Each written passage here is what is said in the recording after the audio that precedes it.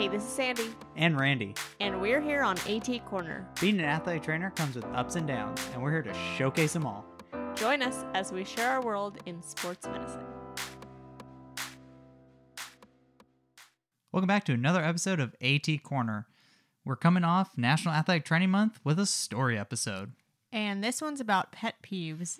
As we all know, athletic trainers are very picky about how things are done in general and how they like things, and this can create a lot of passion. And I gotta say, if you do not want to listen to complaining, this is not the episode for you because basically what we did for this episode is we compiled a bunch of different athletic trainers' responses about the things that bug us. You know what? I think this is a nice v- venue to just vent and let this stuff out. And I'm sure we have some stuff that will be very relatable to the professionals out there. And they'll probably listen to this and be like, man, that kind of bugs me too. And I gotta say, if you're an athlete listening, you can decide what. Well, now you're gonna know one how to press your athletic trainer's buttons, and two, That's a dangerous game. You know, at the end, we're going to be rating some excuses that some athletes have used for either not coming into rehab or not wearing their braces or anything. Oh, I can't wait. I think a specific scale needs to be made to rate athlete excuses. So, athletes don't get any ideas.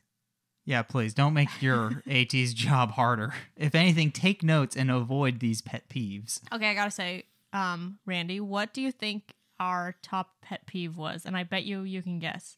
It was it's one of mine. Well, now well, now I'm I don't know because the easiest one that I know that can I'm not kidding. This debate fuels so much arguments and passion and that's how towels are folded. Okay, I actually didn't know that this was such a big Yes, thing. this is a big deal. I'm not as fiery as other people, but I yes, like you are. You were very fiery all weekend about how towels are folded. That's all you talked but, about. but I'm not going to yell at people for folding them wrong. I'm just going to shame them a little bit until I they fold it my way. I didn't know this was a thing. Oh yeah, it's a big deal. I there were some people who were writing like hot dog then hamburger or like hamburger then hot dog.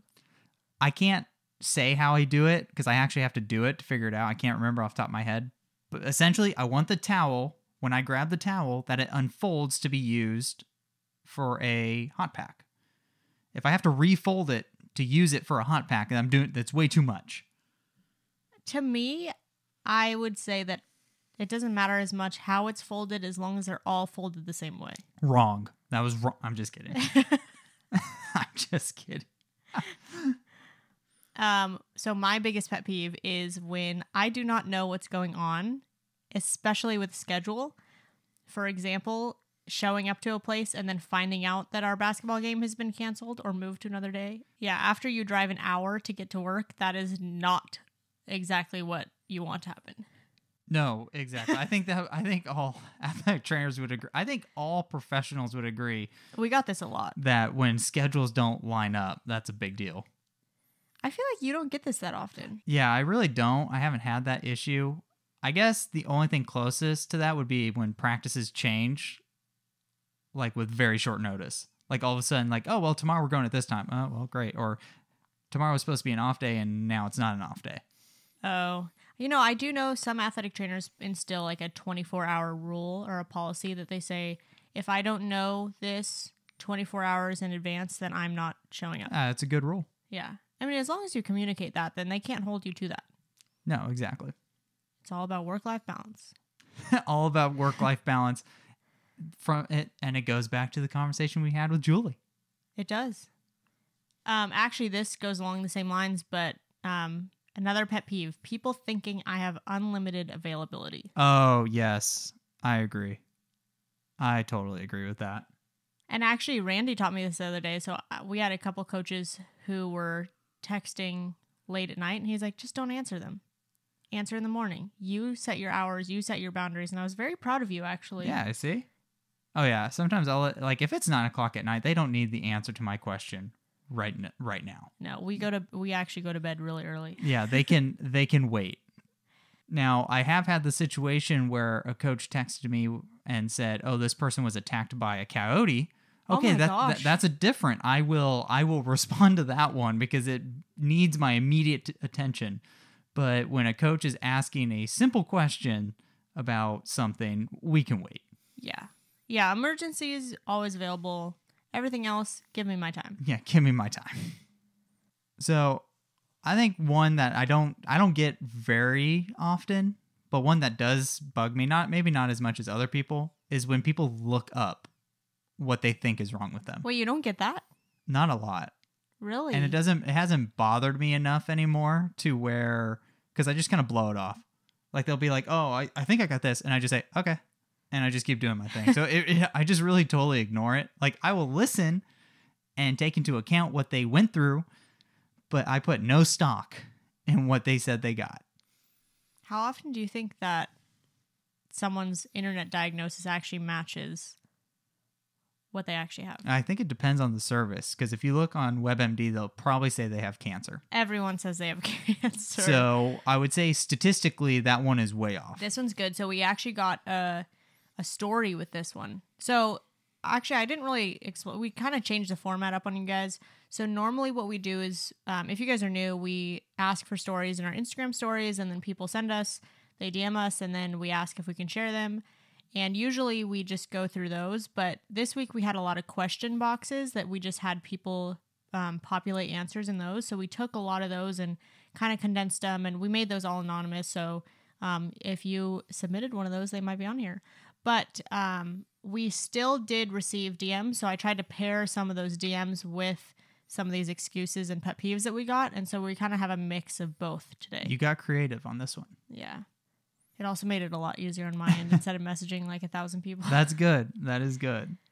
So, this anonymous story I had an athlete tell me that she knew she tore her labrum in her shoulder because her dad looked up a video on YouTube for a labrum test.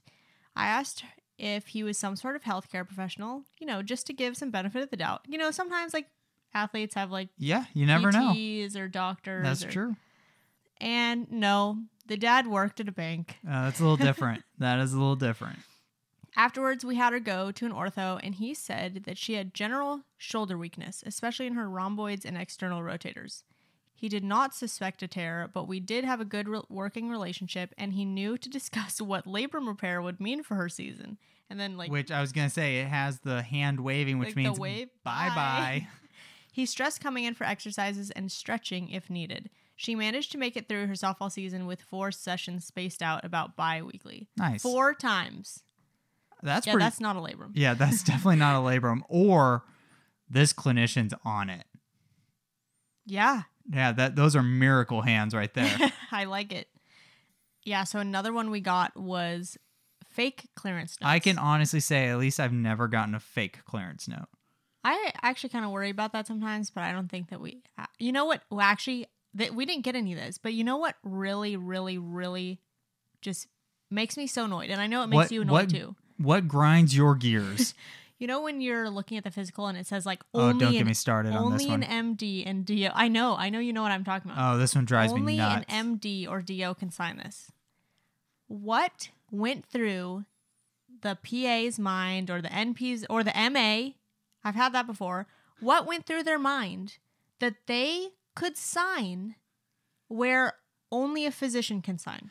So like what went through like I would never as an athletic trainer would never sign something that says only an MD or a DO can sign this because what kind of liability is that? so that so that's the thing that gets me like on our physical form at the top and we've actually changed the form now because now it's going to say it on the top and the bottom Ours says at every single place there's a signature. so needed. it says only uh, md or do can sign this form and then where the signature spot is it says signature of physician i don't think that's a nurse practitioner no, so like I respect all these professions, but please do not have some sort Well- of complex that you feel like you're all of a sudden an MD. Well, and that's the thing too is like I don't care who actually does like I get it. It's tough to, for some kids to find a place to do a physical Yeah, and they need yeah. something affordable. I get it. But if another person like another professional does the physical like a PA or something, like that's fine as long as the doctor signs off on it. yes, I'm not going to be that picky where I'm like no, the doctor has to do the physical. No. No, I'm not. I just want his We signature. just need the signature. just follow the paper. oh my gosh. Clearly fired up. So, anyway, along the line of fake clearance notes, I was really hoping we were not going to get this, but Jose said that he got a fake COVID test. That's pretty bad. And I was like, wait, how? See, if I'm ever like questioning the legitimacy of like a note or something, I will look it up. Like I've had physicals where they Uh-huh. have to put the stamp or like they put the address or oh yeah, I- you you like call and say, is this person MD? yeah, I'll Yeah. look. Oh, Oh, yeah. yeah, big time. Yeah, we've done that before. So athletes, you won't get away with it. Anyways, Jose said, "We do tests on site and we get those results directly. However, we do accept PCR tests from mass testing locations, which the same. That's what we do."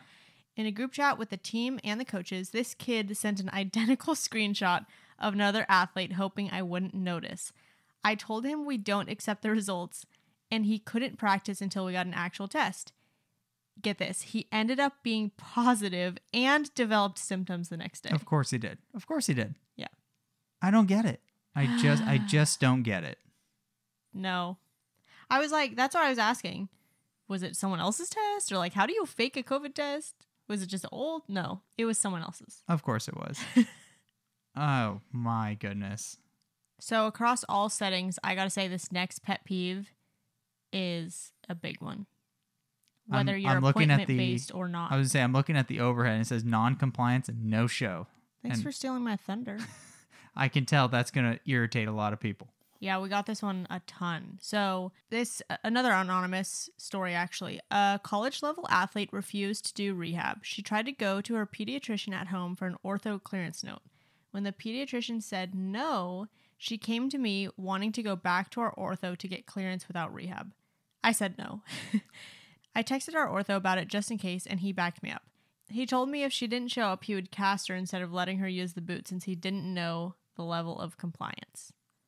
I've never had anyone casted because that's bad. That you know when the cast comes out, that's not a you're not doing very very good on your level of compliance. No. So she eventually came in two weeks later to do rehab after Coach, Doc, and I talked to her and her parents about it. With all her non compliance, it took an extra month to get her started back out on the court. Okay, if that is not a story, a, a testimony to why you need to come to rehab, like, come on. That an extra month, that's a long time. It is a long time. That's the thing. Like it, I it boggles my mind because athletes are always like, "Oh, I want to be back out there and air all this," but don't you realize the longer you wait, or you're just not compliant, or don't do things correctly, it takes longer to get you back. That's not what they're thinking. No, that is not what they're thinking. So I asked her what it ended up being, and she said it was a fibula stress fracture that was all the way through on the x ray. Oh man, It was a miracle that it wasn't displaced. She was also a volleyball player, so her stature was long, 6'1, and lanky, which also means longer, sp- skinnier bones. We didn't end up having to cast her. I gave her a firm deadline to come in and do rehab, or after that, I was going to recommend casting. With coaches and dad's help, she came in before that deadline I gave. Okay, this this part. What's even more odd is that she came back, broke some school records, and then thanked me publicly later of course. super awkward. I got cursed at and then thanked. Yeah, that's usually So- how it goes. Really odd, but understandable. She was in that rebellious, finally free from my parents stage in life. Goes to show mental aspect of getting back on the court is just as important as rehab itself. Oh, absolutely. I love that we keep getting stories like this. Yes. I love that.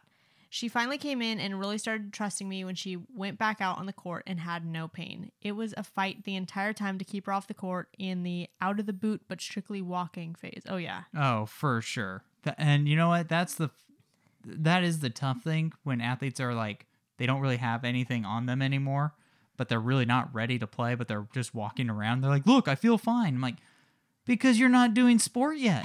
you do dynamic things, it's going to hurt." Yeah. My favorite is when they try to show me something dynamic and it looks terrible. Like, "No, no, no, no, I'm good. Watch." Oh, and then they're hobbling around. I'm like, "Yeah, that looked great." honestly sometimes that's the best is you know what you want to go back out there okay you go back out there and then they take themselves out Yeah, that's true. because then it's not you telling them it's okay now we're on the same page okay now let's do rehab See, looks like I wasn't wrong. My job is literally to look forward and reduce the risk of problems. Yeah seriously It's not just a guessing game here. actually a lot of people also said they had a big pet peeve about being told how to do their job Oh yeah, yeah. by that one- everyone but yeah. everyone tries to do this oh yeah, I, that drives honestly me nuts. i think this probably goes with all jobs oh yeah, that drives me nuts. I think just anyone in general.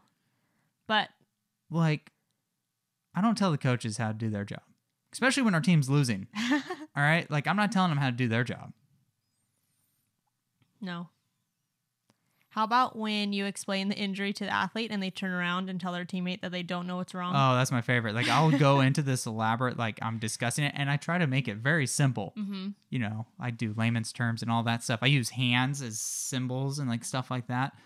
Coach walks in. Hey, what's wrong? I don't know. Dude, I just told you what's wrong. What do you mean you don't know? My favorite is, you know, the story when I told an athlete that he couldn't have ibuprofen after Oh yeah. after a concussion, and he was like, I, I told him the whole reason why, and then he turns around and he tells our head athletic trainer that I told him that taking ibuprofen will make his brain bleed.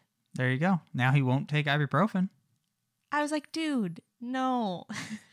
So I've actually gotten to it where I will call them out if they're like, "Oh, I don't know." I'll be like, "Yes, you do. I just told you. yes, you do." I love that. Oh yeah, I'm not letting them slide. Okay, this one I'm very surprised. I actually wrote this one in because of all of the responses we got, we did not get a single person who said leaving the ice scoop in the machine, in the ice machine, was a pet peeve of theirs. I don't get it enough for it to bother me Really? because most of the time I'm grabbing it. this drives me nuts. It drives me nuts because that thing is, oh, actually, you know what actually drives me more nuts? When I get to the ATR in the morning and no one dug out the ice. And so it's just all sitting up at the top. Oh, I get that. I hate that. And then I'm like, now the machine could have been making ice all, all night, but now we have to wait for it to make more ice because no one dug it out and just got stuck well, at the top. that really becomes irritating when you're in the summer months and you're banging through a lot of ice, Oh my god. or the ice machine's not making as much ice as yeah. it should be. Yeah. Also, one pet peeve that is kind of off, off topic, but a little bit not on topic, not off topic, is um, when athletic trainers decide to play their um, absolute rule and decide that ice is the most horrible thing in the world. Like, you can decide that. However, you still need to have ice at games in case you have a heat exhaustion or you need to run a heat protocol or anything like that. And also, ice is still good to make drinks cold. So, like, not having ice out is just stupid. Plus, also, what you don't account for is where am I going to keep my lunch? Yeah. Right? Your portable fridge. Like, let's be honest. When we bring out the ice chest and stuff, I would say maybe 10% of that is for the athletes. The rest of the 90% is for us. Yeah. Keeps my beverage cold, keeps my lunch nice and cool. So, this one specifically is wiping inside and outside of water jug with the same towel. I could see that. I mean, that is kind of gross. I, that honestly is I never the thought of it. Really? I never thought of that. I, I purposefully don't do that. And I also purposefully do not drink out of the water jugs. I mean, that's probably a good idea. I am also a water snob, so that you makes are sense. a water snob. but I will not drink out of those. Disgusting. I also hate cleaning them. Oh, yeah. I hate cleaning the coolers. You guys, I don't think you understand how much I like. I do not do the dishes. I don't. I I think- I, hate I hate it. Yeah, I do the dishes in the house because I don't want to do laundry. I'll do the laundry, but I like doing the coolers is just I will See- do everything. I I will do all the other grunt work, all of it, but just don't make me clean a cooler, See, the- please. Cleaning the coolers is just, it's just it's like a- a, giant cup. It, it- you're right. It is a giant cup, but it's like it's just tedious and it's very labor intensive because you got to lift it and angle it and all that stuff. I really hate cleaning out the cool the um ice chest because you know why? There's always those last little pieces of ice that are impossible to get out, and you're doing like you're flip trying to flip it out and it keeps going back in, and then I hate it. I've never had to do that. Oh, it drives me nuts. okay, we got another story. So next pet peeve is oh, not also, sorry. And then when you're trying to clean it, the lid's always falling closed, and you're like, oh, I gotta keep the lid up, and then oh, it's a disaster. So our last pet peeve, not telling me all what happened, slash when the physician asks and the story changes. oh, of course, that's why I will make sure I tell my team doc before the athlete gets there. So Nicolette said, I had one athlete tell me they fainted after running with their girlfriend, but really they fainted while getting a tattoo. And I only knew a month and a half later when I was sitting in the doctor's office with him for a prolonged concussion protocol and they finally came forward. He said it was wild getting a tattoo. And I was like, wait, what? Of course. I didn't care how he got hurt, but it was just funny that he felt like he had to lie. But it did make me feel better that he also told his mom the same excuse. Okay, well that's good. At least you're in the same category the same as category mom. as mom. Yeah, I was just about to say that. So to finish out, I think that one of the biggest pet peeves athletic trainers have is when athletes make excuses. Yes. And, you know, some of them are clever, some of them are funny.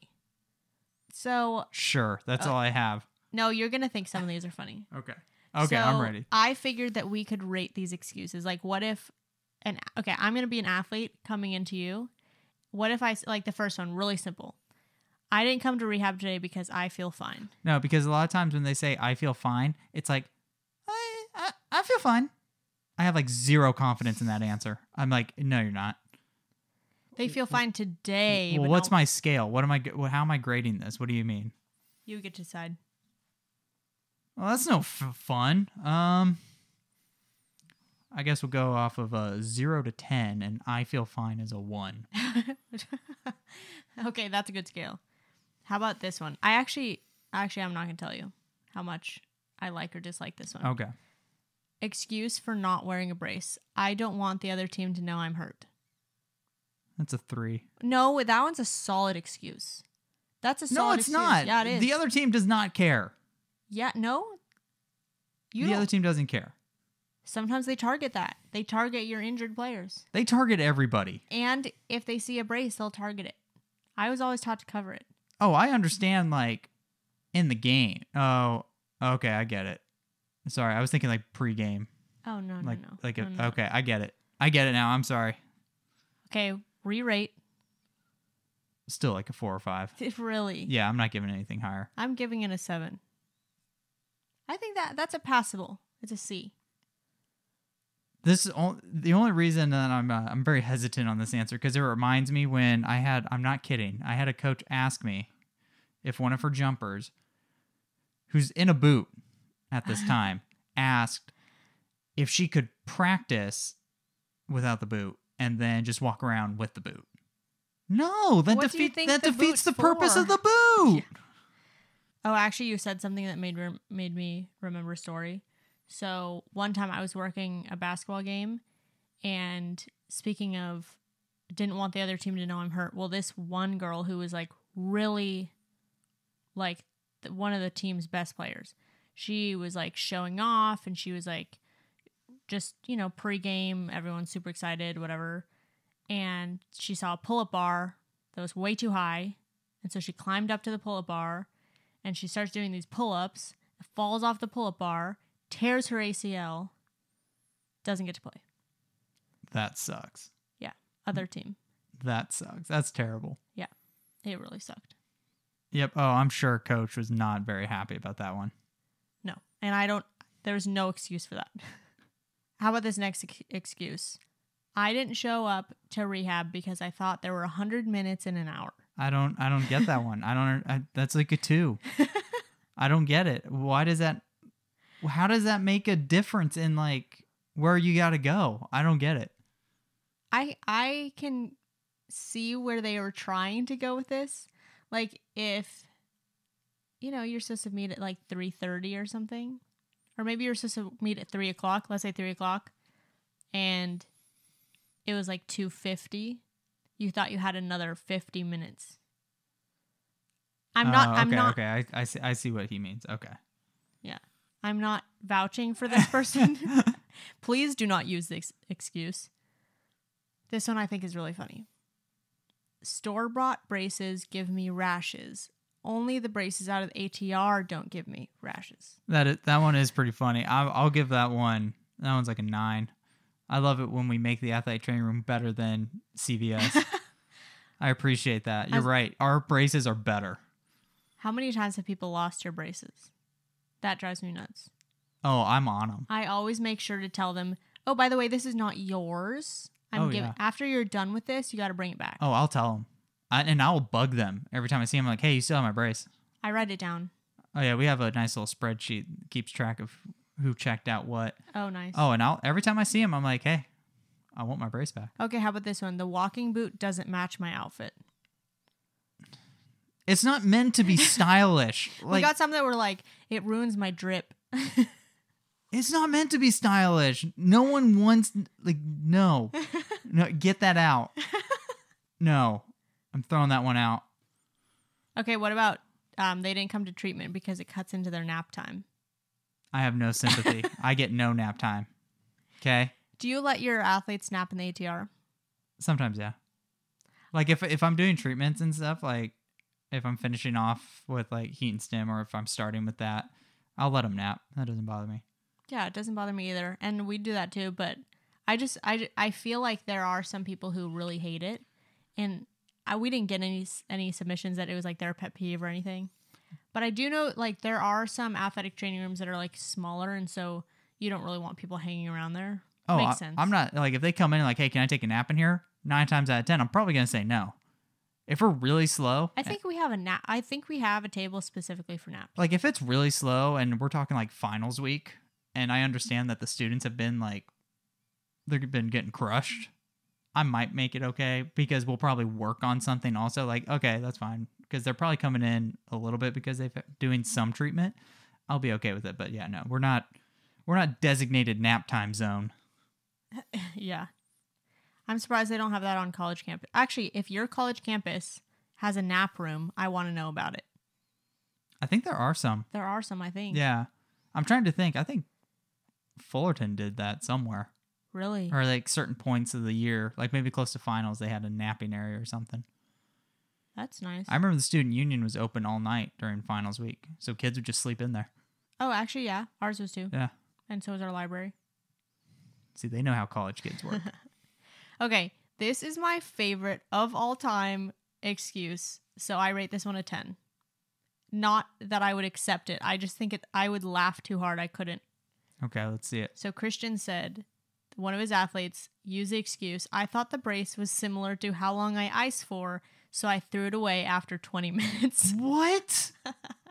Why? What makes you think that they're the same thing? this is the same reason that you have to tell athletes not to shower with their ace bandage. I'm still just my mind is blown. Like, why do you think I'm giving you this thing that's probably came out of a box that is, could just be thrown away? Yeah. So, going over all this made me think of another big pet peeve. Okay, do it. I it absolutely drives me nuts when an athlete comes in and they're like, "Oh yeah, this has been hurting," and I ask, "Oh, how long?" Oh, like two weeks, like three weeks. Are you serious? You mean to tell me by week two? And it doesn't cost you anything to come over here. No, by week two or week one, you didn't think like, "Oh, this is kind of weird. I should get this looked at." No. Apparently not. Like, oh, I did, yeah. Oh, actually, one we didn't touch upon that I I guess I just didn't write it down. How about when either the coaches or the athletes come in, they're like, "Oh, I th- I I need this treatment today." Oh yeah, the like the ordering. We talked about that last episode. Oh yeah, man. I'm not in and out, dude. Like I will gladly take your input, but we're not ordering off the menu. I ha- I had this one patient who literally came up to me and told me that she was due for a pec release. Oh, no, she get was out. due for a pec release, and I was like, "Oh, you are really?" Get out. You I- need to you need to go to pay money to massage envy if you're looking for that. Not only did she come up with, to me with that confidence, I have never met this patient before. Well, now you have. Yeah, wow, I was very taken aback. Ooh, good word. Thanks. I like that. Do you have any more pet peeves? I think we've covered all all the things that really grind my gears. Do you have any excuses that athletes have made? I feel like my athletes don't really make Yeah, excuses. I don't have a lot of excuses. They're I like to think my my kiddos are pretty upfront with me. Yeah. I mean, honestly, I think it also goes down to personality too, because there are some people who just, I mean, that's, they have to justify things. I mean, I will like I'll be honest with them. Like if if they tell me something and I'm like the ones where they're like, oh, like oh, two weeks, it lasted two weeks. I will be understanding, but then I'll I'll at a certain point I'll start the okay, you know it's coming. And then I give them the disappointed dad talk. And then they go, I know. I'm like, yeah, let's not do that again. So, if you guys are new, these actually were all submitted from our Instagram followers and our listeners. So, if you want to join in on sending in your own stories, normally we we do a lot more like credited stories or longer stories. Um, head over to our Instagram stories at AT Corner Podcast, and then you can also submit your own stories that we will possibly feature. And then also, if this makes you remember a story by listening to this episode, we do have a Facebook group called AT Corner Community that you can join. It's free. There's only one question to join. It's where did you hear about our podcast? And then you can join in with other listeners of the show, and then you can totally make a new post. It doesn't have to be a story. You can you can post whatever you want in there as long as it's athletic training related. Um, and then we always make episode threads so you can comment what your guys' pet peeves are for this week, some excuses that you've heard if you missed our Instagram story. And also, we do every other episode as education or stories. This one was a story episode. Next episode's education. And we're going to be talking about shoulder and scapula issues. So that'll be out next week. And I think that's all we have. I think that is all we have. It was a pretty short episode today. Really quick. Well, you know, you can only hold on to anger so much. Yeah, if you guys made it this far after just hearing us rant for a little while, I feel like ju- it's just a it's just a Monday rant today. I feel like starting starting your uh, your morning with an episode of pet peeves, you're going to come into your athletic training room fired up. So I feel bad for the kiddos that are going to try and pull an excuse when you're listening to this episode. Yeah, let us know if they do. Oh man, easy way to get kicked out of the athletic training room real quick. All right, you guys. Thank you for helping us showcase athletic training behind the tape. Bye.